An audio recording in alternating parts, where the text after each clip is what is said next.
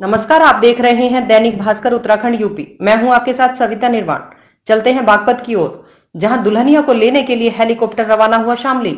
गाँव में तमाशबीनों की भीड़, बागपत जनपद के गाँव कोताना में आज एक अनूठी शादी देखने को मिली, जब शोएब दूल्हा हेलीकॉप्टर से अपनी ह्यूमा दुल्हन को लेने के लिए शामली रवाना हुआ। इस मंजर को देखने के लिए बड़ी संख्या में गांववासी एकत्र हो गए।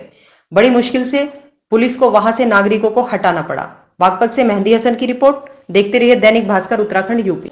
सर मेरा नाम मोहम्मद शेख है कोताना है जिला बागपत है अच्छा अच्छा। आप जो है हेलीकॉप्टर में जा रहे हैं जी हेलीकॉप्टर में जा रहे हैं। जी हेलीकॉप्टर में लेने के लिए जा रहे हैं।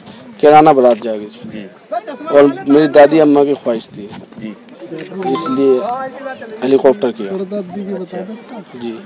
काफ़ी उत्साह है लोगों में भी। जी उत्साह है और बड़े भाइयों की भी उत्साह थी कि हेलीकॉप्टर से लाए मेरी दादी की भी उत्साह थी। उनकी उत्साह इसलिए हेलीकॉप्टर से ला ठीक है।